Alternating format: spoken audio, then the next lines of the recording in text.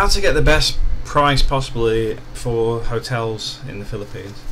The fact is, on the internet, they're very likely to give you about a 10% discount if you're staying over two weeks.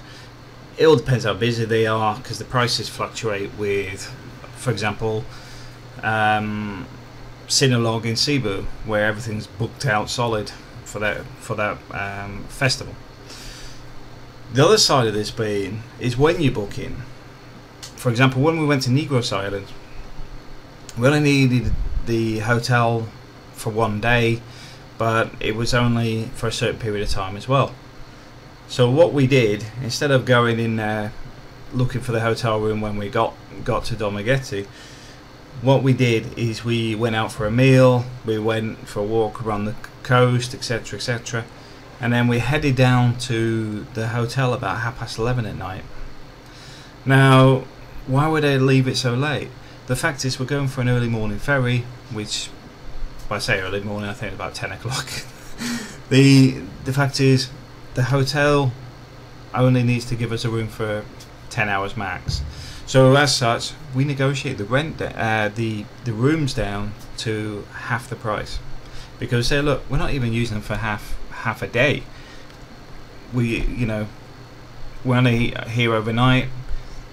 It's up to you because we'll go and ask the next hotel along. What happened? They took the money. Now, they're either going to put that on the books, or if they haven't got a good accounting system, you were never there.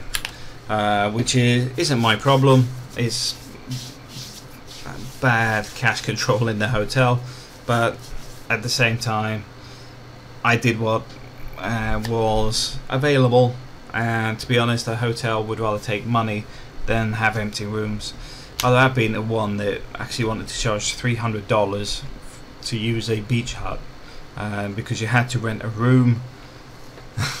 you had to rent a room to use the beach, and the minimum room was three hundred dollars a room, which was amusing because when we got to the the resort, the weather had been fine till we got there, and it just hammered down with rain. But there was also about 14 members of the staff and not one customer. so you'd have thought, well, we'll take the money, but there's no way I was paying $300 for a uh, what do you call it, a um, beach hut because of not actually going to use the bedroom. They would actually been better off giving us the bar tab, and we'd have probably drank $300 between us.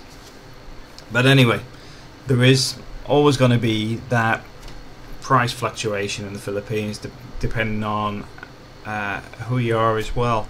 Which is why you'll see a lot of people don't advertise the prices. When you get there and it's on the reception, and you can, it's normally written in biro because they've altered it. But like I says, if it's not busy, try and negotiate. Philippines, you can barter with things. Um, there's nothing wrong with bartering; it's normal.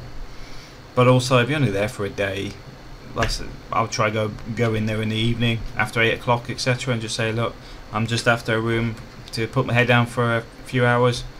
What can you do? But do it for, and you'll nine times out of ten they'll come back and say, okay, um, we'll do it for we'll knock a third off or a half price or whatever. No harm in trying. Thanks for watching.